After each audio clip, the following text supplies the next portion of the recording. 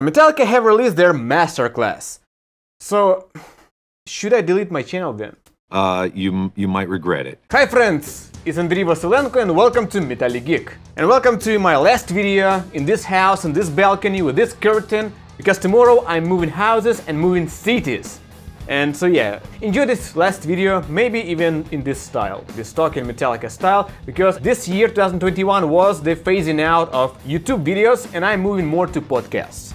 So we've been making these Metallica talking videos since 2016, and the goal of Metalligeek, this project, was to gather these crumbles of information of Metallica songwriting, of what they were thinking when assembling the compositions, when coming up with the legendary riffs for the first time, when the hands just played this lick that would become so iconic. Even though the songs are on the surface, they are everywhere, everyone is talking about them, covering them, but the stories behind them, that's another story. No pun intended. But this kind of information is so dispersed all over the place in different interviews. One question, one part of the answer was about the songwriting. But now it may have changed because Metallica, the fing band, have released their fing masterclass. And the part in the fing masterclass could mean either good or bad kind of In this video you'll learn which of the I mean. And you'll learn about it in like 30 seconds, but, but still stick to the end of the video to learn, say, about uh, if I'm gay. This is an interesting subject. So what is this masterclass? It consists of 15 videos of almost 3 hour lengths in total, intro, 13 lessons, and the last one is Metallica's S and the last one is Metallica's S and the last one is Metallica's exclusive half an hour concert for Masterclass, where they played 6 songs. So what topics did Metallica cover? Basically everything, from songwriting to being a band and advice to young musicians, how to get along, how to keep creating, and how to make it. This is something Metallica should have done long ago. They have done it in different forms, but to in little pieces, but still, there was no this one solid course with the band themselves talking all the details, how they are. The Metallica podcast, to a lot of people, a lot of Metallica fans, it was kind of disappointing. The first episode of it was really exciting, it was hype, but after that, it was like, and the production ruined the whole story. I reviewed the podcast, the first four episodes, then I gave up. Uh, link uh, somewhere here. Just witness yourself the level of excitement going down with every new episode, a level of being pissed off increasing. So, the Metallica podcast kinda lowered my expectations, lowered my hopes that Metallica would actually release something, something interesting and not overproduced. And when the masterclass was announced, that was something I was the most suspicious about. Like, is that gonna be like the Metallica podcast? Like, it was not. Maybe the lowered expectations helped, but first of all, in comparison to the Metallica podcast, the editors let the band just talk. No cuts, no abrupt fucking ear rapes. They just talk their shit. And on top of being really moderate in the editing, not annoying, just the good flow, the storytelling is great. And they really like talking to you, to the fan, to a musician, like you are in the room with them. Yeah, sometimes Lars and Kirk, they were like repeating themselves like five times the same thought. I like uh, talking. At least Robert and James were always to the point. And one episode is really is really standing out when they talk about the connection on the stage.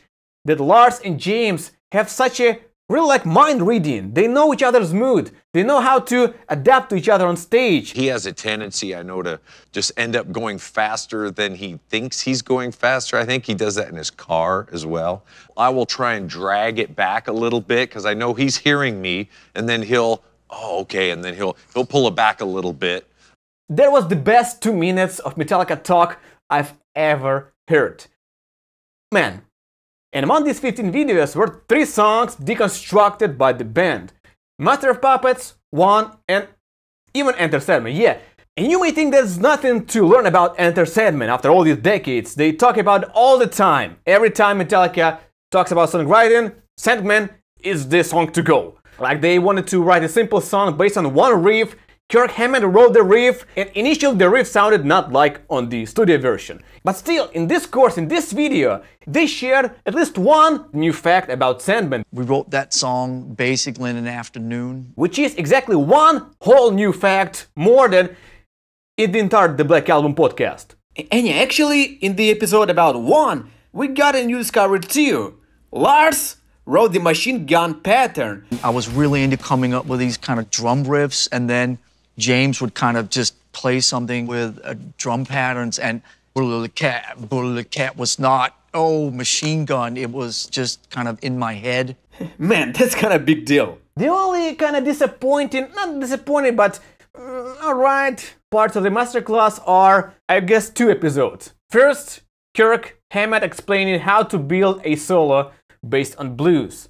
My concept of a solo is a musical opportunity to make a statement. He's talking about how he's excited to be a better improviser, not to work on the solos for weeks on end, but just go to the studio and just let it out. It's basically Kirk Hammett for six minutes straight making excuses that he does not want to do his homework. He really still must have that PTSD after working with Bob Rock. And another one, which was like, meh, was Bass Trujillo explaining Metallica bass tone. Leslie sound, which is.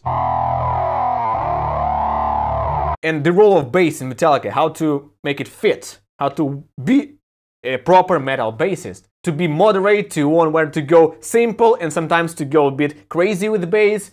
Nothing new, serious, what if I was Metallica bassist? Somewhere here, and I explained this, the same philosophy. And about the tone, he shows his pedal board distortion and uh, delay and stuff. I don't really care about that. Uh, as long as distortion is good, I'm, I'm good with it. But uh, about Jason's and Cliff Burton's stuff, actually they did not mention Jason and Cliff a single time in the masterclass. They show them in the clips from the live performances from the 80s, 90s, but uh, not a single mention of that kind of legacy. Robert is, even though he's my hero, Robert plays them differently. And Jason played differently Cliff's line, so that's not... Mm. But that means that I won't delete this channel. We will keep exploring it, at least in the form of podcast. And speaking of the podcast, the latest episode is about Metallica's family tree, which is about the bands that are related to Metallica the most. We built a tree and gave them different tiers. And the next episode is about what to expect from Metallica's 40th anniversary concert, which is going to take place in December. Are they gonna play rare songs? Are they gonna play Fixxxer? Well, you'll learn my thoughts. Link to the podcast in description. And yeah, speaking of Metallica anniversary concert, I had a chance to go there. But you know, I live in Ukraine and I and I need visa to go to America. And now getting visa to the USA is almost impossible. So I'm not making it. But in the case you are, I have a way you could bring some of Metalligeek with you. It's a piece of merch. And if you are not going, well, the Christmas is coming, yeah? Link in description to order it and use a promo code HUI1 for a 15% discount. Expired December 1st. So hurry up and also hurry up because the Christmas time is coming and deliveries are gonna be overloaded. Um, which leads us to another question. If it's actually worth the money. Because a lot of fans complained it's really expensive. The website's business uh, scheme is that you pay an annual sum to access the entire collection of all the courses but all the different amazing people, not only Metallica. You pay for the entire site, usage for one entire year. And I would be actually completely alright with that had not they done this little trick.